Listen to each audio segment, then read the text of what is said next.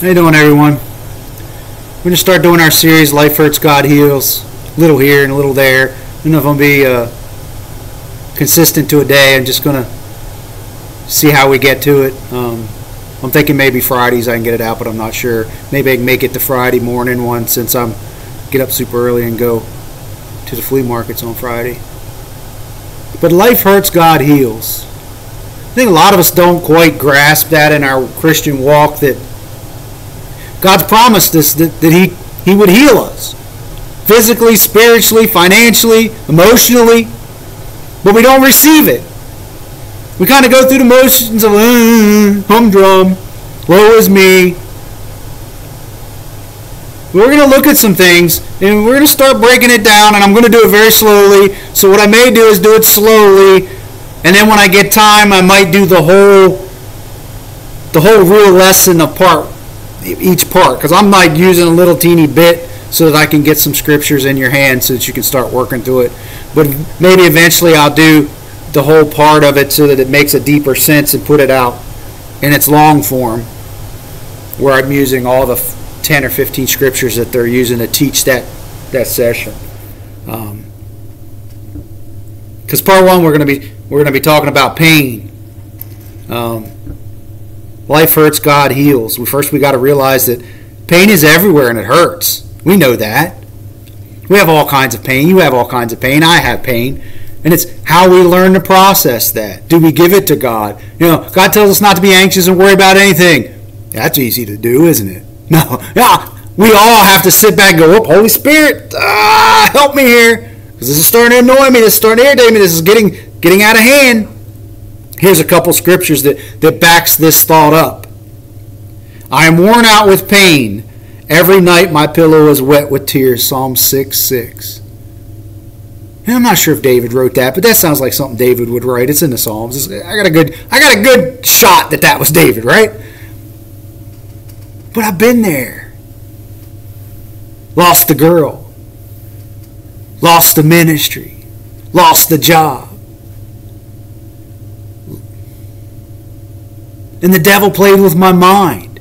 And, wept, and, I, and I just wept on the pillow all night long until I fell asleep. And the only reason I fell asleep is because I was exhausted. But I fell asleep in tears, in a wet pillow. And it was tears. It wasn't drool. It was tears, you know. I'm sure we woke up to drooling pillows, but it was tears. Job 30, 27 says, The churning inside me never stops. Days of suffering confront me felt like Job a few times. The churning inside me never stops. We're tired. We lay down to go to bed and our mind starts going, you should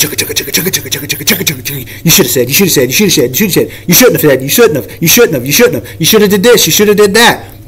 Did they look at you funny? Did you look at them funny? What were they thinking when they said that? You know, they took that the wrong way.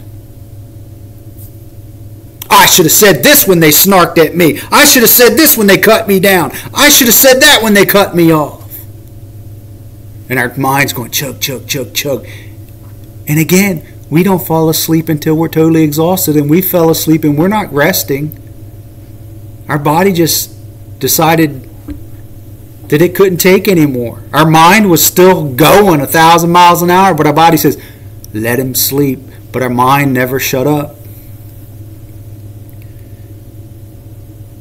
John 16, 3 says this I've told you all this so that you may have peace in me. Here on earth you will have many trials and sorrows, but take heart, because I've overcome the world. John 16, 33. I've told you this so that you may have peace in me. The only way we're going to get peace is if we've got Christ in us and, and we, are, we are in Him. He's, he's the only peace. He told us time and time again that He came that we our peace will be made full, that we will have full peace. And he's told us many different ways, and we'll get to that as we get deeper into the series. Hey, how to get to that peace? But it's so hard. Sometimes we know these things, but we either forget them or the enemy convinces us that it just doesn't work. Here and off, you'll have many trials and sorrows. Life hurts, God heals. Give it to God. It's not going to be easy. I think that's one of the greatest injustices that a lot of Christians are doing around the world. We're going to get you saved. All your problems are going to go away.